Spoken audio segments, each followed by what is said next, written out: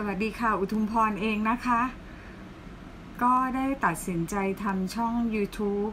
Channel นะคะ ชื่ออุทุมพรศิลาพันธ์นี่แหละ ก็สะกดเป็นภาษาอังกฤษนะคะ U T O O M S I L A P H A N ค่ะ ก็คิดว่าจริงๆน่าจะเป็นช่องที่สัพเพเหระ ก็คือมีทุกอย่าง ไปเรื่อยนะคะ ไม่ว่ากินไม่ว่าเที่ยว ไม่ว่าความรู้เกี่ยวกับเรื่องการเลี้ยงลูกเกี่ยวกับการศึกษา ความรู้รอบตัว หรือว่าอะไรที่อินเทรนทันสมัยแล้วรู้ขึ้นมาก็อาจจะมาเล่าสู่กันฟังอะไรแบบนี้นะคะ คราวนี้ที่ผ่านไปแล้วเนี่ยก็คือเป็นคลิปที่ทำตั้งแต่ปลายปีช่วงคริสต์มาสที่ไปเที่ยวเชียงใหม่กับลูกชายอะค่ะ อืม แต่ว่าวันนี้ก็อยากจะแบบมาพบปะพบเจอกันอีกสักครั้งหนึ่งเพราะว่าลงคลิปไปได้ประมาณเกือบสองอาทิตย์แล้วมั้งก็คนยังไม่ค่อยไม่ค่อยรู้นะคะ ไม่ค่อยไม่ค่อยรู้จัก ก็ฝากติดตามฝากกด subscribe ด้วยแล้วกันนะคะ กดไลค์กดแชร์อะไรก็ได้ค่ะ เพื่อที่ว่าเราจะได้ออยู่คุยกันต่อไปเรื่อยๆนะคะ ยังไงอุทุมพรน้องคงไม่ท้อไม่แท้ อุ้ยแท้ค่ะแท้ วันนี้ไปถ่ายงานมานะคะ ก็มีความรู้สึกอยากอยากคุยมากเลย ก็เลย มานั่งคุยซะหน่อยก่อนที่จะไปล้างหน้าเปลี่ยนเสื้อผ้าแล้วก็ออกกำลัง อะพูดถึงเรื่องการออกกำลัง ช่วงที่ distancing อะค่ะเขาเรียกว่าอะไร social distancing ที่อยู่กับบ้านนะคะ ให้ stay safe at home ก็คืออยู่บ้านเพื่อช่วยชาติ ก็เราก็ทำตาม ที่รัฐบาลแนะนำทุกอย่าง เพราะว่าเราเองก็กลัวเหมือนกัน เพราะว่ามีคุณแม่คุณยายจิ๋วที่อายุมากนะคะ 87 แล้วเป็นคุณแม่อยู่ที่บ้านในรั้วเดียวกัน ก็ไม่อยากจะเอาเชื้อโรคข้างนอกมาให้คุณแม่แล้วก็พอดีละครปิดกล้องด้วยอสรพิษก็ปิดกล้องไปแล้ว พอดีเลยปิดได้สองสามวันเองนะคะ ก็ถูกประกาศให้ยกเลิกทุกอย่างกองถ่ายก็ทำงานไม่ได้นะคะ อืม ในที่สุด อยู่ว่างๆอะ อยู่บ้านแล้วเป็นคนชอบทำกับข้าวมาก ก็อุ้ยได้ทีได้โอกาสนะคะ ก็มีความรู้สึกว่า เฮ้ย ไม่ต้องทำงานตั้งนาน ไม่รู้จะเปิดอีกเมื่อไหร่เรื่องการศึกษาที่ทำอยู่เนี่ยที่อังกฤษเนี่ยนะคะ ก็ทำไม่ได้นะคะ เพราะว่าเด็กๆก็ต้องรีบกลับมาเราก็บัญชาการรบให้เด็กๆอะ่ะ กลับมาอยู่เมืองไทยก่อนที่โรคระบาดที่อังกฤษ จะโกโซบิกก็คือไปกันใหญ่นะคะ เนื่องจากถูกกักตัวแล้วทำกับข้าวทุกวันทานกับใครอะยูนสองคนกับแม่บ้านเองก็ทานกันเอง คุณยายเองเขาก็ทำของเขาทานเนาะไม่ค่อยทานของเรานะคะ แล้วบางทีก็ใส่กล่องใส่ถุงอะไรเอาไว้เผื่อแผ่ก็ขับรถไปให้ลูก เอาไปแขวนไว้หน้าบ้านอะไรอย่างเงี้ยที่บ้านคุณพ่อเขานะคะในที่สุดก็คือ พอถึงเวลากลับมาทำงานจริงๆอะค่ะ น้ำหนักเกินสิคะน้ำหนักเกินไปเยอะมากอะค่ะ ประมาณห้ากิโลแบบว่าเฮ้ย หันกลับมาดูตัวเองอีกทีนึง ขอโทษนะคะ แบบเปิดพุงดูในกระจกอะพุงกับหน้าอกอะแบบเฮ้ยเท่ากันน่ะ ที่มันมาตระหนักได้ตรงที่ว่าฝ่ายเสื้อผ้าคอสตูมของละครเขาโทรมาขอสัดส่วน เพื่อที่จะไปตัดเสื้อให้เราใส่ในละคร แล้วแบบว่า อะไรกันเนี่ย โอ๊ยแบบรับตัวเองไม่ได้อะค่ะ ก็เลย กุ้มใจจริง ๆ นะ ถึงขนาดนั่งร้องไห้เลยนะ ว่าไม่รู้จะทำยังไงกับตัวเองอะคือมันอัดอั้นตันใจจนน้ำตามันไหลออกมาเอง แล้วแบบว่า ฉันจะพยายามยังไงอะเพราะว่าฉันก็แบบว่านิ่งนอนใจทิ้งทุกสิ่งทุกอย่างที่ฟิตเนสก็ไปไม่ได้ อยู่บ้านก็เพลิดเพลินบันเทิงใจไม่ออกกำลังเลยค่ะ มาติดตามตอนต่อไปดีกว่า เนาะวันนี้เดี๋ยวขอตัวไปออกกำลังก่อนดีกว่าค่ะ ถึงเวลาแล้วด้วยค่ะหกโมงเย็นแล้วนะคะ โอเคบาย แล้วเจอกันฮัลโหลสวัสดีค่ะ มาคุยต่อ มีความรู้สึกว่าคลิปที่แล้วที่กะว่าจะตัดจบตรงนั้นเนี่ยมันห้วนไปนิดนึงอะค่ะ คือเราพูดถึงการออกกำลังแล้วก็ยังไม่ได้อธิบายอะไรเลยว่าให้มาดูกันต่อไปอะไรอย่างเงี้ย วันนี้ก็เลยมีความรู้สึกว่า เออมาต่อเลยดีกว่า แต่ว่าก็จะเห็นนะคะว่าครั้งแรกเนี่ยอุทุมพรไม่มีความรู้อะไรเลย การใช้กล้องแนวตั้ง มันไม่เหมาะการลง YouTube อะค่ะ ทุกคนก็ได้ดูนะคะลูกสาวลูกชายแล้วก็ลูกน้องก็เลยบอกว่า มันต้องเป็นแนวนอน คราวนี้ก็เลยมาด้วยความถูกต้องนั่นก็คือแนวนอนนะคะก็อยากจะเล่าเรื่อง ความทุกข์ใจ ช่วงกักตัวอยู่บ้านแล้วก็ปล่อยตัวเองซะจนน้ำหนักขึ้นมาเยอะมากอะค่ะจริงๆแล้วขึ้นมาในขณะที่น้ำหนักก็เกินอยู่แล้วนะ หมายความว่าเมื่อเช้านี้ลองวัดเขาเรียกอะไรนะนนบิอะไรนะ ค่าของ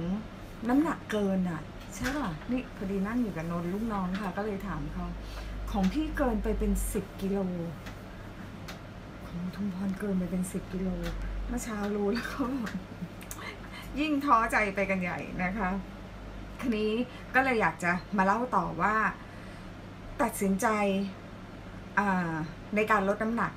ด้วยวิธีใดบ้าง เราก็ห่างหายจากฟิตเนสซึ่งซึ่งปกติไปก็จะมี personal trainer เป็นเทรนเนอร์ประจำตัวของตัวเองด้วยนะคะ เขาก็จะมีหลักมีวิธีมีอะไรให้ว่าลดส่วนไหนเพิ่มกล้ามเนื้อส่วนไหนอะไรอย่างเงี้ยอพอนานๆเข้าเราไม่ได้ไปเป็นประจำเราก็ลืมลืมเลือนๆนะคะ ก็จำได้เป็นบางท่าเอง อย่างนั้นมันก็คงไม่เวิร์กแล้วล่ะ ก็เลยคิดว่าโอเค ถ้าอย่างนั้นเราก็จะเปิดดูทาง YouTube แล้วกัน ราะว่าเป็นคนติดช่อง YouTube อยู่แล้วดูทุกอย่าง ในช่วงกักตัว รู้จัก YouTube เยอะขึ้นมากเลยว่า มันมีอะไรเยอะมากมายเป็นแบบว่าหลายร้อยหลายพันหลายหมื่นอย่างที่เราควรจะรู้ แล้วเราก็ได้รู้ได้ความรู้จาก YouTube นะคะโดยเฉพาะติดช่องเรื่องกินของเกาหลีอะค่ะ ที่มันเป็นไม่รู้สะกดถูกป่ะนะคะ มักบังหรือมุกบังสักอย่างหนึ่งที่แบบว่า มันจะมีเสียง ในการกินแบบเลิศมากอะฟังแล้วแบบได้อัธรสแล้วเขาก็แบบทำคลิปน่ากินมากนะคะอะนี่ก็หมดเวลาไปเยอะแล้วว่าจะเล่าเรื่องออกกำลังค่ะ ดันไปดูคลิปเรื่องอาหาร มันก็ยิ่งหิว มันก็ยิ่งต้องทำอาหารมาทาน support ตัวเองในขณะที่ตัวเองแบบดูแล้วเกิดแรงบันดาลใจว่า เฮ้ย จะทำอย่างนี้บ้าง แล้วเดี๋ยวจะกินให้เต็มที่เลยอะไรอย่างเงี้ย ถึงขนาด เคยทำอาหารเกาหลีทานเองนะคะอร่อยด้วยนะก็มาดูแลก็มาศึกษาเรื่องอาหารก่อน เพราะว่าดูหมอหลายท่านเลยนะคะ ที่เกี่ยวกับโภชนาการหมอก็จะบอกว่า เรื่องอาหารการกินสำคัญกว่าออกกำลังอีก 80%อยู่ที่อาหารว่าเราทานอาหารถูกวิธีไหม แล้วก็ได้สารอาหารครบหมู่ไหม นะคะ เรื่องอาหารนี่ก็เป็นความรู้ที่ต้องเล่ากันอีกยาวเลยค่ะ ส่วนเรื่อง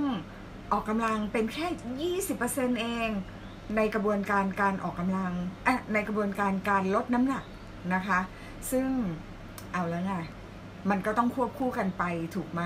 คราวที่แล้วบอกไปแล้วตอนต้นต้นคลิปที่แล้วว่า ถึงขนาดนั่งลงหมดอะไรตายอยากแบบร้องไห้ ไม่รู้จะเริ่มต้นยังไงดีอะค่ะ แต่ว่าเราต้องมีเป้าหมายนะ การลดน้ำหนักต้องมีเป้าหมายก็คือต้องตั้งตั้งโกตั้งจุดประสงค์ ตั้งประตูชัยเอาไว้เลยว่า เราจะทำให้ได้ภายในระยะเวลาเท่าไหร่ด้วย และเราต้องมีความมุ่งมั่นแบบจริง ๆ มากเลยท้อถอยไม่ได้อะคือมันคือการเอาชนะ แล้วเป็นคนชอบเอาชนะไม่ชอบยอมแพ้ด้วย เพราะฉะนั้น ก็เลยบุกเลยค่ะ ก็ซึ่งจริง ๆ วิธีลดน้ำหนักของ ของเราเนี่ยนะคะ มีอยู่สามวิธีที่ตั้งใจมาก ๆ เลย แล้วเดี๋ยวจะมาเล่าให้ฟังโดยละเอียดว่าแต่ละวิธี เช่น ดูแลเรื่องอาหารนะคะ จะเป็นคลีนหรือจะเป็น IF หรือจะเป็นคีโตอะไรค่อยว่ากัน เดี๋ยวจะมาเฉลยนะคะ ส่วนการออกกำลังนะคะก็จะเป็นช่วงกักตัวฟิตเนสยังไม่เปิด เพราะฉะนั้นเราต้องพึ่งยูทูบเบอร์คนที่เป็นสายออกกำลังแน่นอนค่ะ แต่จะเลือกแบบไหนนั้น เดี๋ยวจะมาเล่ารายละเอียด ส่วนอีกเรื่องหนึ่งนะคะ นั่นก็คือ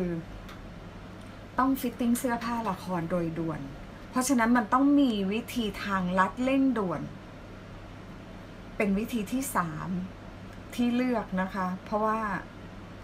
นั่นคือคลินิกเสริมความงาม ซึ่งเป็นคลินิกที่คุณหมอช่วยดูแล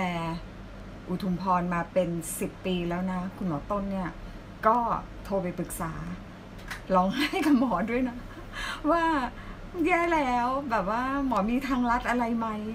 หมอก็บอกว่ามีมาเลย มาหาหมอเลยเขายังไม่ให้ทำเรื่องหน้านะ ตอนนั้นนะคะ แต่ว่าเขาเปิดให้ทำเรื่องผิวกายได้แล้ว เพราะฉะนั้นก็จะมี 3 วิธี โดยสรุปก็คือ 1. เรื่องอาหารการกิน 2. การออกกำลัง 3. ก็คือทางลัดก็คือใช้วิธีของคุณหมอ ซึ่งจะดูแล